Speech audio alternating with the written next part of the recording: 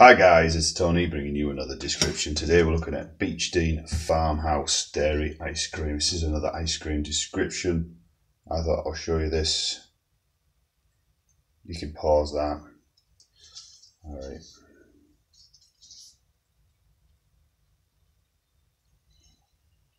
Okay, so it's the lemon curd flavoured dairy ice cream with blackcurrant fruit and there's lemon zest. Right, so this is a one litre I got this for a pound and uh, it looks really good. I'm going to attempt to open, in, open this up.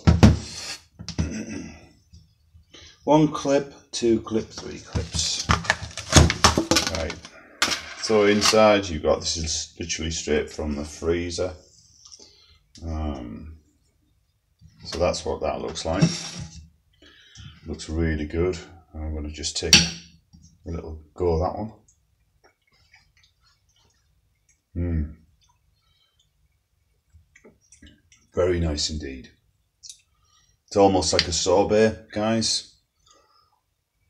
There's the lemon across it. Mmm. That is luxurious, that.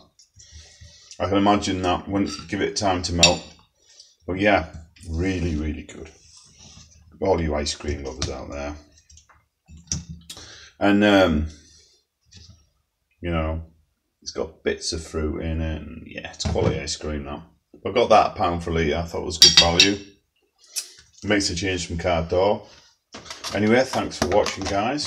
Let's look at Beechdean Farmhouse Dairy Ice Cream made with fresh Jersey milk and rich double cream. Thanks for watching. Like, subscribe. Catch you later.